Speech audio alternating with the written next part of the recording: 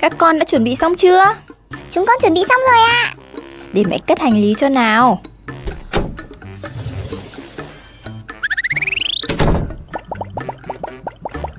Nào, đưa cho mẹ.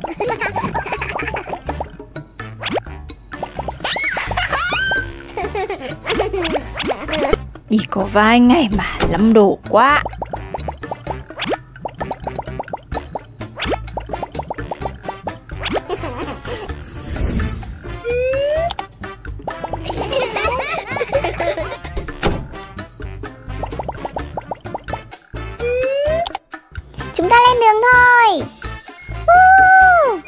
Ngồi chắc nhé các con. Yeah! Mẹ ơi nhanh lên, mọi người đang lên thuyền rồi.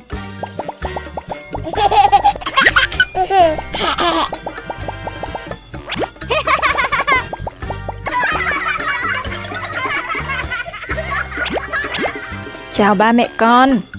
Chào bác, bác cho chúng tôi lên thuyền với. Vâng, chỉ đợi tôi một lát đã. Alo, vợ tôi sắp đẻ ư? Tôi biết rồi, cảm ơn bác sĩ. Nhà bác có việc sao? Đúng vậy, tôi phải làm sao bây giờ? Vậy bác để tôi lái thuyền cho, tôi đã từng là thuyền trưởng.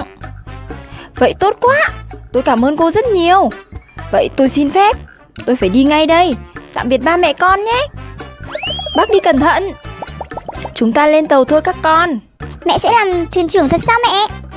Đúng vậy, vì nhà bác Louis có việc nên mẹ sẽ lái thay cho bác ý. Wow, wow, mẹ làm thuyền trưởng. Chúng ta đi thôi mẹ ơi. Đi.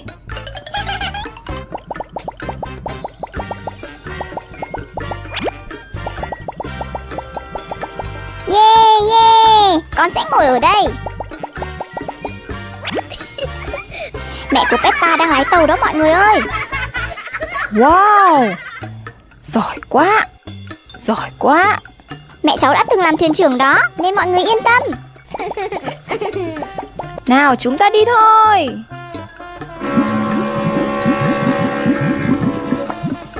Sóng đánh mạnh lắm đó mẹ Peppa Cảm ơn chú Bạch Tuộc.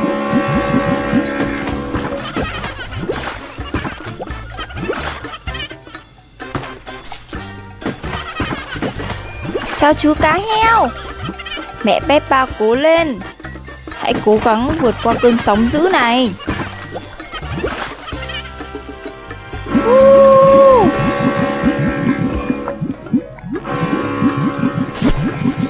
Ui, sóng mạnh quá. Chúng ta sắp vượt qua cơn sóng rồi.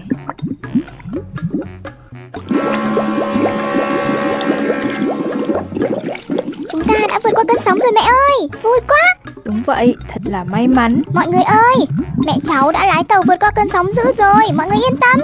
Mẹ Peppa thật là giỏi quá Mẹ Peppa đúng là một anh hùng Đây đúng là chuyến đi đáng nhớ nhất của mình. Hi, Vui quá.